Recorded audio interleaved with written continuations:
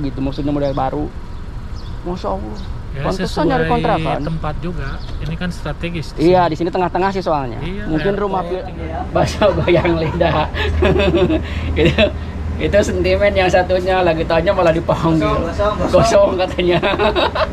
Jadi semuanya. Assalamualaikum warahmatullahi wabarakatuh. Gimana kabar teman-teman? Sehat semua? Saya mudah-mudahan kalian adalah lindungan Allah subhanahu wa ta'ala Dipanjangkan umurnya Dimudahkan rezekinya Bisa menjalankan ibadah umroh dan haji. Amin. Nah di video kali ini teman-teman Saya itu mau ke rumah Kang Rijal Musafir ya. Karena dia itu sebentar lagi mau pindah katanya majikannya itu. Dikira saya rumah sendiri Tahu-tahu ngontrak. Nah sekarang saya mau ke rumahnya Mau saya tanya-tanya harga kontrakannya Kenapa sih kok bisa pindah gitu ya? Jadi jangan lupa like, komen, dan subscribe-nya. Oke teman-teman Sekarang saya mau berangkat ke rumah Kang Rijal. Hmm. Mana kuncinya lagi? Jadi Kalau orang Arab itu Kalau ngontrak itu nggak tanggung ya. Rumah villa dikontrak sendiri. Mungkin berapa duit harganya itu mungkin setahunnya dapat mobil satu kayaknya. Nah, makanya saya penasaran nih mau saya tanya nih sama Kang Rijalnya. Berapa duit sih ngontrak rumahnya sebesar itu? Oke teman-teman sekarang saya sudah nyampe ya ke depan rumah Kang Rijal Musafir nih. Sekarang mau saya bel nih. Lagi ngapain sih? Saya bel nih sekarang nih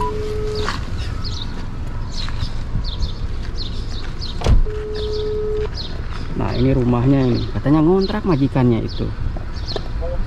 Halo di mana? Keluar atau yo? Hah? Ya, siap ready, ready. Siap yuk. Nah teman-teman nih rumahnya seperti ini. Dikira saya rumah sendiri ya. Tahu-tahu ngontrak. Coba mau saya tanya berapa duit nih. Nah kalau jenis apa apartemen ya jelas. Ngontrak ini makan rumah villa ya? Pantesan tuh catnya aja beda tuh. Berarti itu punya satu orang ini punya satu orang ya? Hah? Lihat gagah banget. Uh. Hmm? Hah? Kumaha cager Cenarek pindah ngontrak. Iya, pindah. Kenapa? Sini naik terus mahal Apanya? harga kontraknya. Ini sekarang berapa duit per tahunnya? 65. Nah kalau rumah villa kan kontraknya itu per tahun Kang ya, nggak di bulan-bulan ya. Jadi setahun 65 ribu. Ya, Sekarang naik berapa? sekitar 25 ribuan. Berarti nyampe 90 ribuan. Masya Allah. Rumah nyampe ngontrak 90 ribu real. Kalau duit Indo berapa duit? Ya, 300 lebih ya? 300 lebih. Mobil satu per tahun. Di sini ngontrak. Di Indo kalau punya duit setahun 350 juta aja. Udah punya rumah. Di kampung bisa Iya. 2 3. Bisa dua tiga rumah ya. Kalau di kampung. Nah, kalau di kampung ya enggak di kecamatan aja lah. Bisa dapat satu rumah 350 juta. Di sini untuk kontrak setahun, Masya Allah pantesan orang sini kebanyakannya itu ngontrak. Jadi ya, kalau cuman kan apartemen aja Hmm, paling murah itu yang standar ya standar Iya. orang sini lah iya sekitar 35 setahun Iya, apartemen ya 40 ada Bu- yang 60 70 bukan rumah villa. iya Pantesan jadi punya majikan saya aja Kang kan ti- ba- apa lama gadim. Hmm, iya. Orang sini bilang itu 22 apa berapa? Karena bangunan lama. sama Beda dengan bangunan baru. Kalau bangunan baru kan lain harganya juga. Rumahnya modelnya baru-baru gitu maksudnya model baru. Masya Allah. ya Pantesan nyari kontrakan. tempat juga. Ini kan strategis di Iya di sini tengah-tengah sih soalnya. iya, mungkin rumah airport tinggal nyebrang. Iya mungkin rumah villa begini juga kalau di daerah pinggiran. Iya. Kayak jenis Abhur atau Raheli. murah kan? atau Hamdania. Berarti sekarang itu berapa bulan lagi? Batas Satu waktunya bulanan. Satu bulanan. Oh, pantesan dari kemarin nyari apartemen itu. Jadi Oh, sekarang saya nggak tiap hari. nggak pindah lagi ke villa nggak? Maksudnya nggak nyari rumah villa kayak ini? Ya kalau ada villa yang murah mau villa? villa. Tapi kalau intinya nyari nyari yang agak murah aja gitu Murah nggak kayak ini. terus Heeh, sesuai lah. besar gitu. Ya nggak kayak inilah. Kalau ini kan 90 jadi nyari yang 60 atau 50 mungkin yang kayak ini aja kemarin-kemarinnya 65 mungkin ya. Jadi ini kan karena naik 25 ribu real. Jadi mungkin kalau nggak naik terus di sini mungkin ya? Terus Nggak pindah. udah dua tahun kan oh di sini 2 tahun? Iya. Oh. Udah malas sebenarnya pindah-pindah nunggu Iya. beres itu kan. Nunggu. Karena pindah itu duit lagi kan betul biaya bongkar masang apa segala macam di sini. Iya, di sini nggak kayak di- nggak ada bantu bantu. nggak kayak di Indonesia bisa bantuin tetangga atau apa. di sini kalau nggak nyuruh orang nggak bisa. Lagian di sini kan harus susu sarika. Iya. Jadi nggak bisa mobil sembarangan bawa barang-barang itu. Soalnya apa. Kalau kena operasi ditangkap di denda apa di Didenda. garamah didenda ditilang kitanya.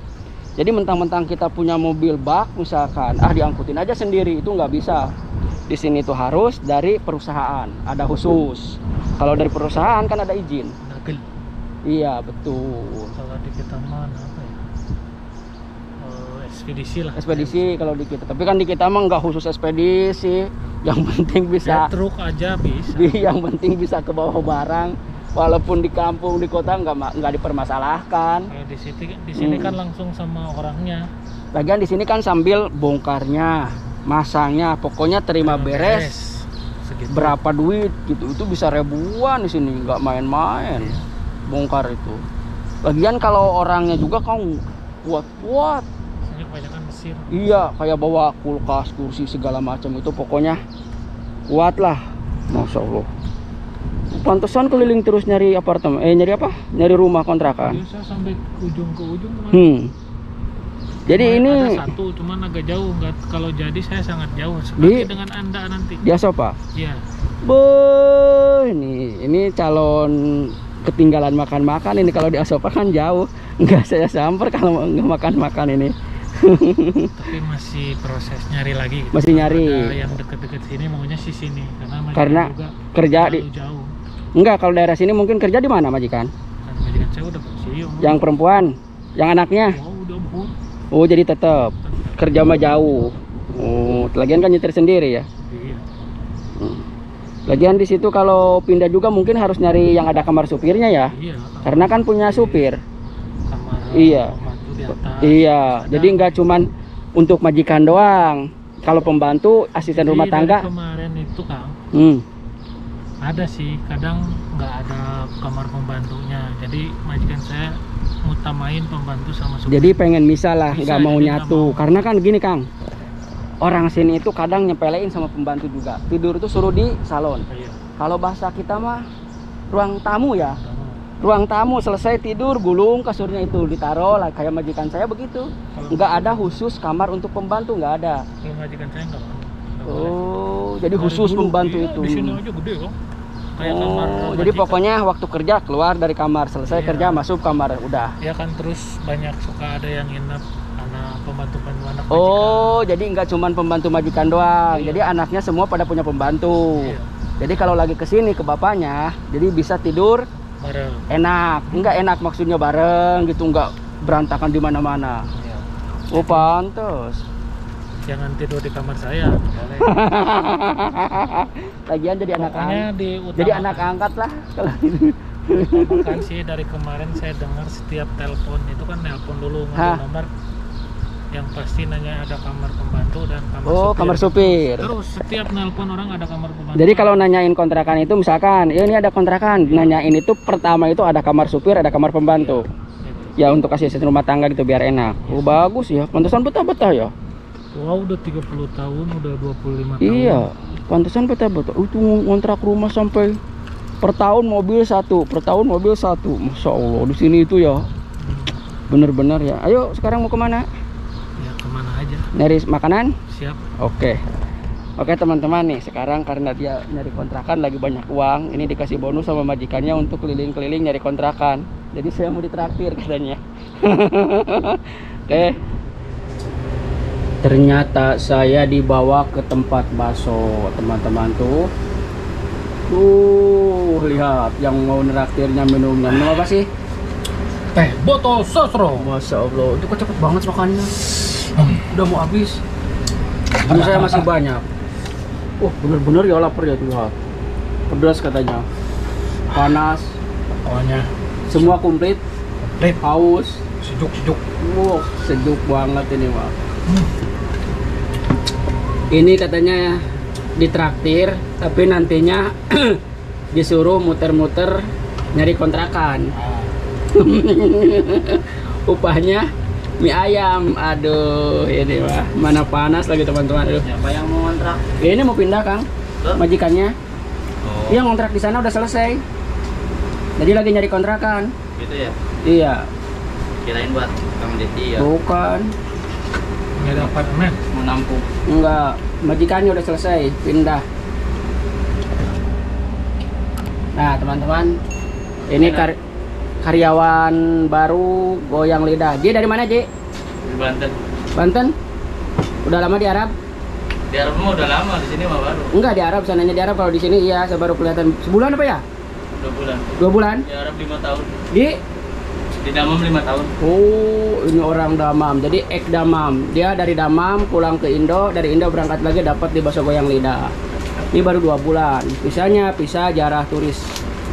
mantap jiwa Silahkan salam-salam untuk orang Banten. Wong Banten via kabarnya. Ya. Aja kali. Aja lali. Sabrek. Like subrek, subrek katanya subrek. orang Banten. Kenalnya? Bantennya di mana, Ji? Di Tanara. Tanara. Kabupatennya? Jangan bilang Tekanaranya saya nggak tahu. Kabupatennya masuk mana? Masuk Banten. Oh, bukan Paneglang. Kabupaten. Bantennya. Hmm. Dekatnya itu Tanara, penjalan Tanara. Sama Saya dulu mah sering ke daerah sana, Kabupaten Paneglang di Saketi. Masih jauh ya. Saketi Paneglang kan kabupatennya? Iya. Waktu nyari bibit paneli, Ji. Tahu paneli, Haji?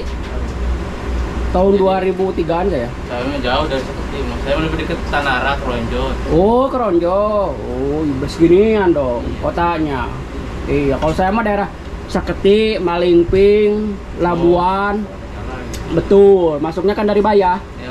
Ya, iya. Dari Bayah sana masuknya. Jadi nyari bibit paneli tahun 2003 Iya. Banten. Nginep semalam, kalau nginep di daerah Mangu. Jaya itu. Kalau nyari panelinya yang banyaknya di daerah Saketinya. Daerah situ banyak. Bangkrut paneli. Oh ya. Nah, jadi itu salah satu karyawan bakso goyang lidah. itu itu sentimen yang satunya lagi tanya malah dipanggil. Gosong, gosong, Gosong katanya. jadi sekarang saya mau nerusin makan mie ayamnya. Oke teman-teman, nanti dilanjut ya. Pokoknya saya ini sekarang dikasih mie ayam, sekarang senang-senang. Tapi nanti setelah makan mie ayam saya diajak muter-muter nyari kontrakan. Aduh, seperti biasa minumnya teh botol sosro. Nanti dilanjut lah. Lihat. Ini untuk yang apa ini kalau yang diginiin? yang safari. Itu. Oh, yang di bawah. Yang dibungkus. Take away, take away. Jadi yang dibungkus dikasih sambalnya seperti ini nih ulbanya itu ya. Dulu mas siapa yang suka take away itu ya? Oh, biasa. Nih, teman-teman jadi udah disiapin. Langsung Tuh, jadi tinggal set set dikasihin gitu ya. Ini sambal sama kalau kecap begini sama. enggak kecap. Ini sambal doang. Sambal sama. Sama apa saus? saus. Oh, jadi sambal sama saus lihat diisiin ke sini. Kalau dikasih beli eh, bakso satu dikasih ini yang gede kan Kang Jaya tiap hari ke sini Pasti. beli. Nanti dijual lagi sama saya itunya. Makanya. bakso beli bakso satu cuman Cuma dikasih satu itu. Iya. Oh, gitu. Sambal juga ABC tak asli Indonesia. Asli? Indonesia. Uh, mantap. Ini kok sponsor itu juga nggak pernah nyuruh saya diiklanin. teh botol Ya, sosro. ini ke Teh depannya. botol sosro. Padahal Ada. saya selalu iklanin teh botol sosro. Kok nggak ada gitu? Iya ya. Iya. Endorse, endorse. Endorse. Aduh, kacau ini teh botol sosro deh. Harus pindah minumnya sekarang ah. Jangan teh botol sosro. Mau bantuin ya? Enggak. Ini biar dapat selesai. Enggak. Saya kan ini. saya kan bukan ahli. Kalau bukan ahli itu dikeprak begitu bisa pecah. coba. Udah aja kan jam Tuh. Kalau ini beres kan saya pulang, Bang. Oh, bareng. Iya. Oh, gitu. Tinggal ayam sama sambal. Tuh, kalau bukan ahli mah susah naruhnya juga. Ini nih Hmm, tekor. saya kan bukan ahli jadi susah. Tuh, Nah, oke teman-teman. Jadi sekarang saya sudah nyampe ke depan rumahnya Kang Rijal ya. Tadi itu Kang cuman kita itu ngambil Nomor. itu aja, ngambil nomor sama foto rumahnya ya. Ya. Jadi urusannya urusan majikannya itu mah jadi sama majikannya tinggal di bel aja. Nanti posisi rumahnya ada di mana, tinggal ngebel. Itu udah lihat fotonya, jadi di- baru di paranin ke sana. Ya, sama dicek. majikannya dicek. Jadi cuman muter-muter aja begitu. Oke teman-teman, jadi video ini sampai di sini aja. Mudah-mudahan bermanfaat dan menghibur untuk kalian. Cukup aja sekian dari saya. Wassalamualaikum warahmatullahi wabarakatuh.